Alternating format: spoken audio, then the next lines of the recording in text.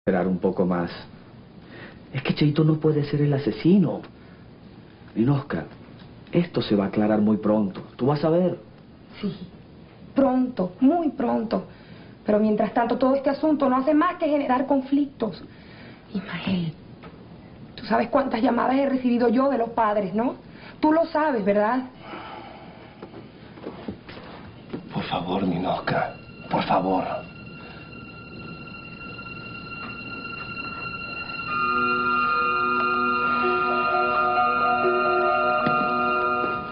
¿Dónde guardaste el arma homicida? Cuidado, Fernando. Acuérdate que este es un bestia. Pobre monje.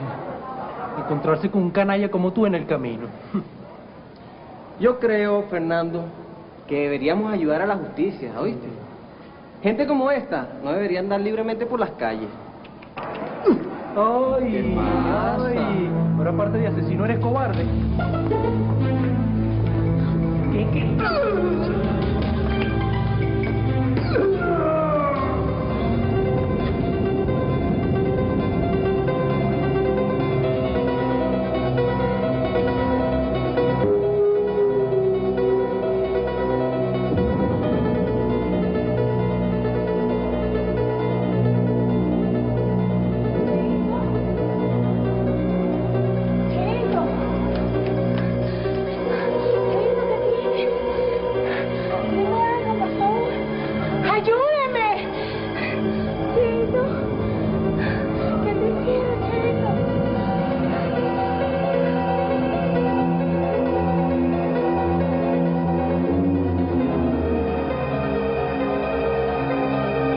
Soy el abogado de Cheito. Sí, ya lo sabemos.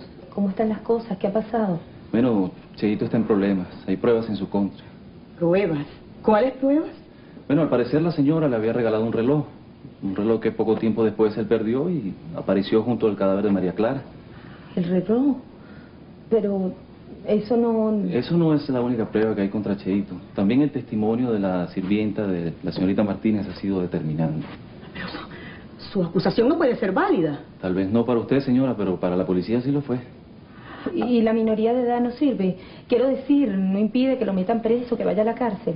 Para eso están los reformatorios y los retenes de menores. Para mi nieto no. Yo estoy segura que mi nieto no tiene nada que ver con ese crimen. El asesino es otro. Señora, eso hay que demostrarlo. Yo estoy tan interesado como ustedes en descubrirlo, pero...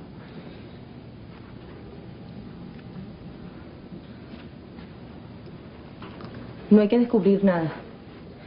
Yo maté a María Clara. Yo soy la asesina.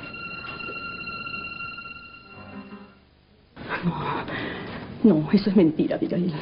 Yo sé que tú no fuiste. No. Ya lo dije. Yo fui. Señora, por favor, venga.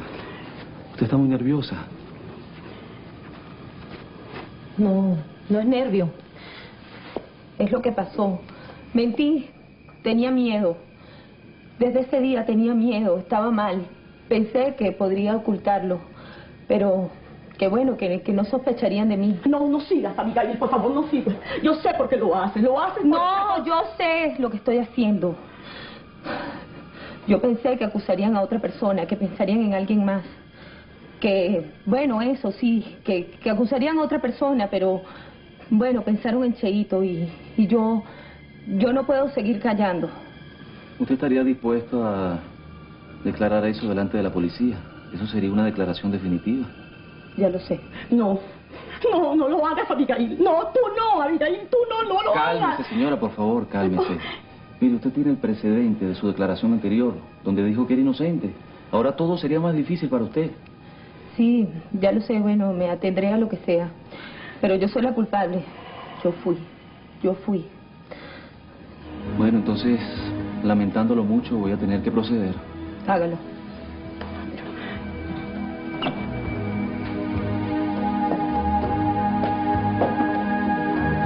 Dímelo.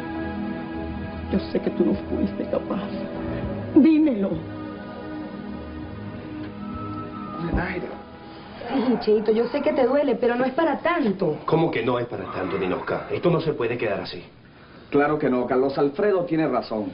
Hay que darle un castigo a los culpables. No quiero más conflictos en mi colegio, por favor. Pero ¿cómo puedes pensar así, Ninoska? Lo que acaba de ocurrir es grave. No, no. Engordemos esto de ese tamaño. Mayra, Mayra, tú viste quiénes fueron los que golpearon a Cheito. ¿Tú sabes algo? No, padre, no sé nada. Tú sí tienes que saber quién fue, hijo. No, no. No hay nada que saber. La directora tiene razón. Mejor dejemos eso hasta ahí y no hay necesidad de armar otro escándalo. Con permiso. Te llevo a tu casa, Cheito. No, no se preocupe.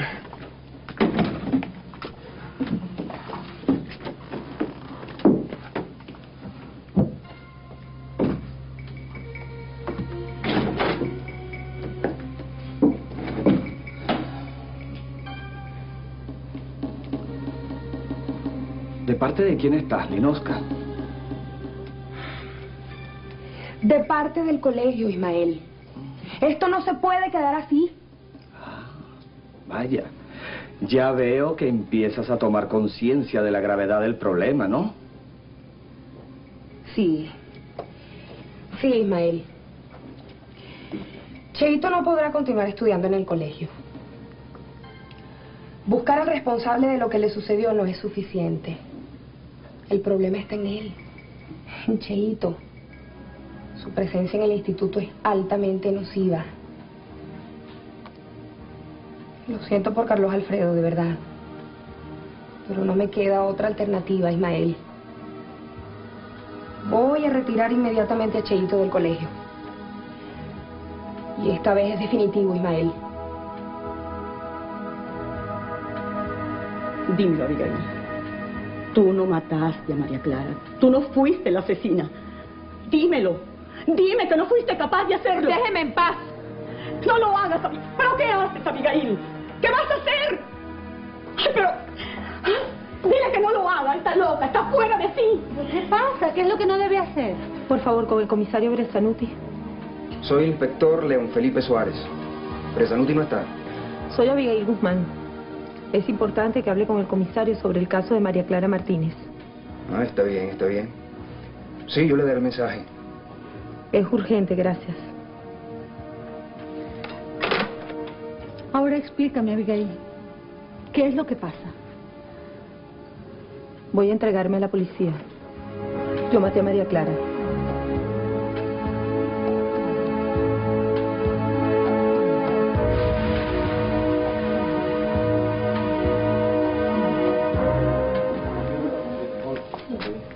Hello, Mariana. ¿Cómo te sientes? Perfecta, doctor. Me siento muy bien. Te veo muy bien, ¿no? Sí, sí, te has recuperado rápidamente. Eres bastante fuerte, Mariana. Doctor, ¿cuándo voy a salir de aquí? Yo, yo necesito que sea ya pronto, ahora mismo. Lo que pasa es que te caigo mal. Eso debe ser. Te caigo mal y te quieres ir pronto. En serio, doctor, yo no puedo estar más encerrada en este hospital. ¿sí? Pues señorita, todavía le faltan unos días.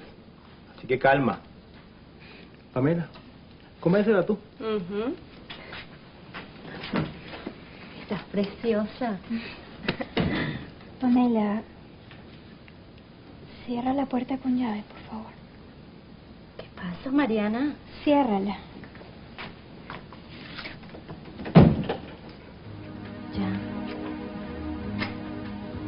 Necesito que me ayudes en algo, pero sin trampa. ¿Está bien? Te escucho. ¿En qué te puedo ayudar? Pamela, yo me voy a parar. Quiero caminar. Ay, no, Marianita, por favor, no, no te puedes parar. Es peligroso. Ay, ayúdame, por El doctor favor. no lo ha autorizado aún. Ay, Pamela, por favor. Te lo pido, ayúdame.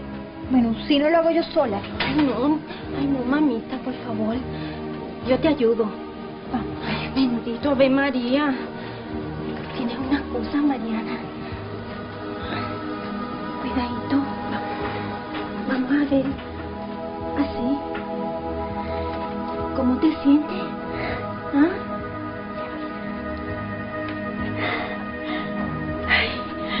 Lo sabía, Pamela.